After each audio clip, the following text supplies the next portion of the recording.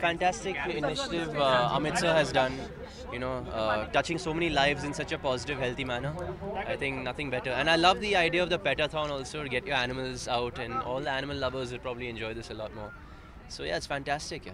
How much you like to uh, go run with, with your pets in early morning? Uh, I can't go running with my pets in the early morning uh, anymore.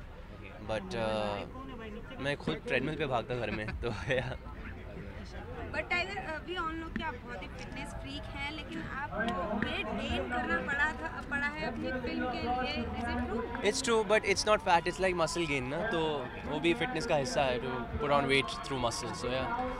Status क्या है to be बागी to का कहाँ तक shoot complete हुआ बाकी to भी फ़िलहाल क्लाइमैक्स एक्शन बाकी है बाकी सब खत्म हो चुके हैं ओके ये आपका जो लुक आया है फ़ोटो जो लीक हुई है वो looking very thank you so much क्या कहना चाहिए गुड लुक के बारे में बस uh, बहुत ही शुक्रगुजार हूँ कि you know the look has been accepted and हालाँकि मैं मेरा बाल को मिस कर रहा हूँ तो you know I am used to having long hair so I don't recognize myself कभी कभी in the mornings but but generally लोगों को तो लुक बहुत ही पसंद आ रहा है आपका। साथ ही जानना चाहूँगी कि कितनी अलग होगी बागी वन जो आप कहे उससे बागी टू में कितना डिफरेंस होने वाला है दोनों फ़िल्म वेल स्टोरी तो बहुत ही अलग है।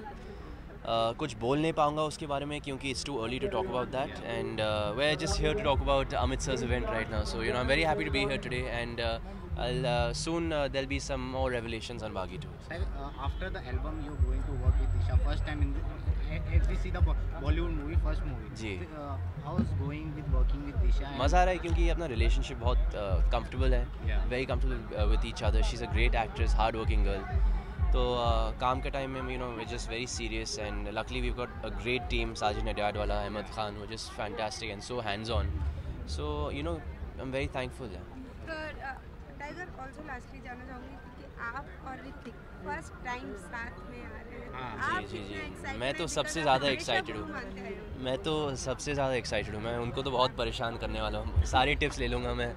सब सारी सीक्रेट्स छीनने वाला हूँ ऋतिक सर से। तो I am very excited to learn so much and you know hopefully show show you all the audiences something that's going to be a treat Bollywood movie की बात करें 2017 में एक ऐसी मूवी है गोलमाल अगेन जो इतने बॉक्स ऑफिस कलेक्शन पे एकदम हाँ यार फाड़ रही है amazing amazing so how did you seen the movie I haven't seen it because I was shooting but I'm only hearing good things about it thank you so much thank you very much thank you thank you thank you